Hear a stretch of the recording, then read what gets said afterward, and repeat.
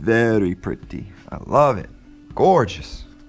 What's going on guys? Welcome back to the channel. And today we're going to get this Aorus 3 Wi-Fi gaming motherboard to work. And yeah, so stay tuned with me. Here we go.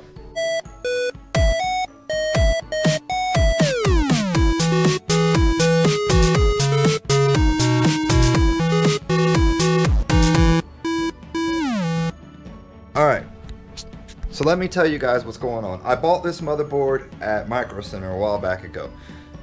The reason why I got it so cheap is because it had bent pins on it. Legitimately bent pins. Um, what a mistake. But we tried to fix it. I got a USB microscope and I lined it all up at like a 200 magnification. I lined it all up so I could get it to um, to get it. Hopefully it works. So let's start her up and see what happens. Alrighty, so just got done putting the CPU in.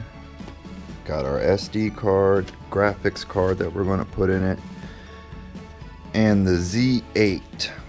This is a pretty cool little CPU cooler. I'm sure you guys have seen this around before. It's only about 20 bucks for it, but it has a really good TDP rating on it. So I would like to use it for this. It's brand new. Let's see what it looks like. Equipment. Alrighty. And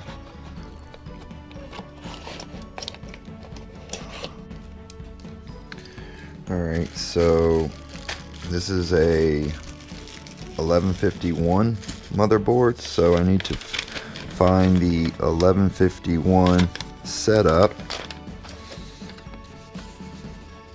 1150X that would be us. Anytime you see 1150X that's the same as us 1151 so it's pretty straightforward. Put the bracket underneath put the top bars on top of it and that's what secures it down that metal plate that goes in between it. Okay so it's like a standard one. Okay. All right let's go ahead and put this together Cue the montage.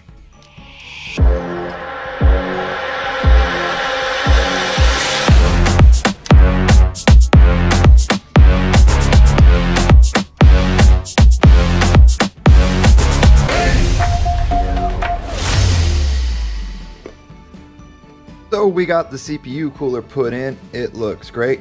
I put in a one single stick of DDR4. I'm just basically trying to test it out and see what's going on.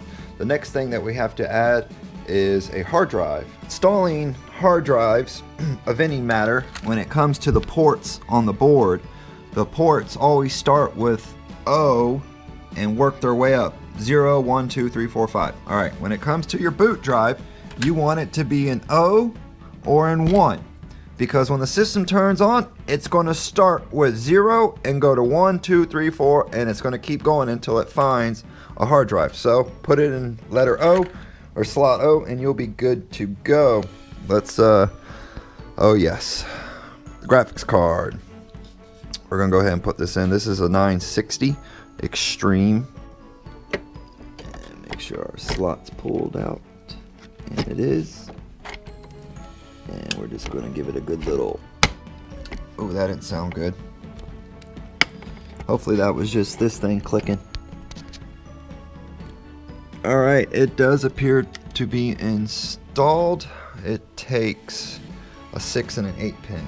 Oh jeez, do I have that? PCI Express 6 and 8. Yes we do, we got that. Alright, go ahead and plug that up. Alright, so I think we are good to finally hook the rest of it up. So we'll have to hook the, uh, see here, we have keyboard and mouse. God, I hope I just didn't do all this for nothing.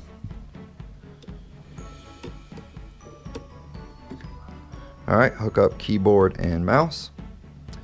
And then we are HDMI, so no need for an adapter. So we'll just pull that straight and plug it into one of the HDMI slots at the bottom. So I guess it would be that one. Okay, plug in our graphics card. Got our pin. Let's get some power running to it. Let's see here. I've got like the monster project. And we'll run this way.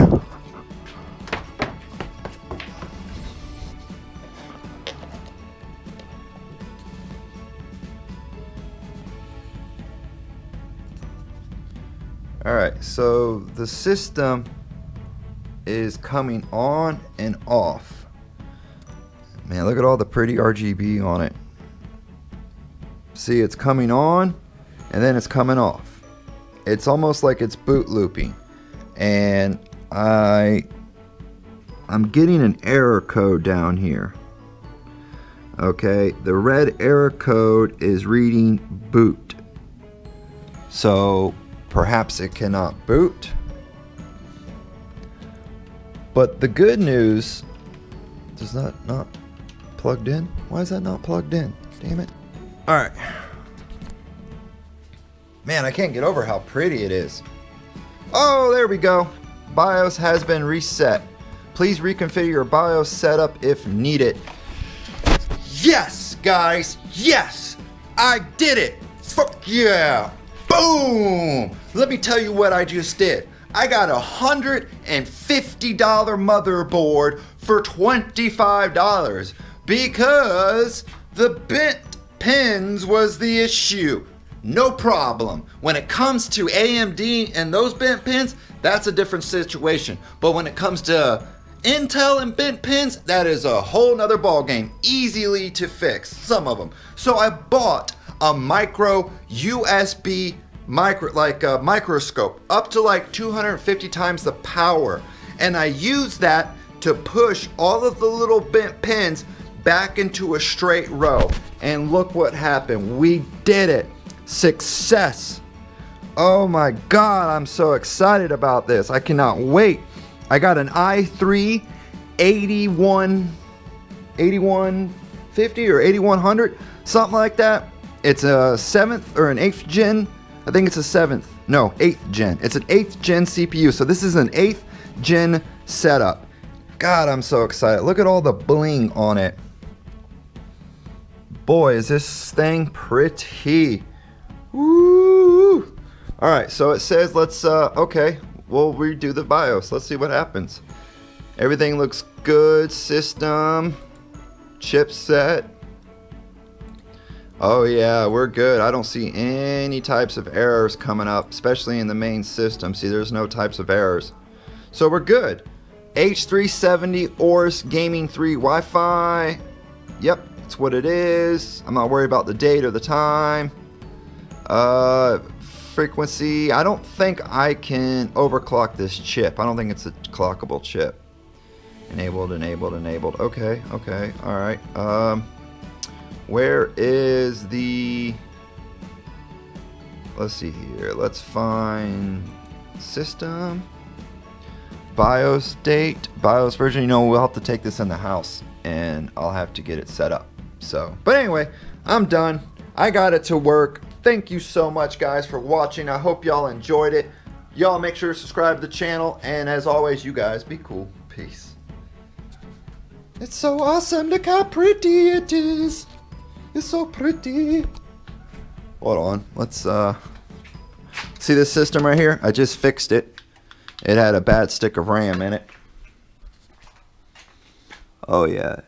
Very pretty. I love it. Gorgeous.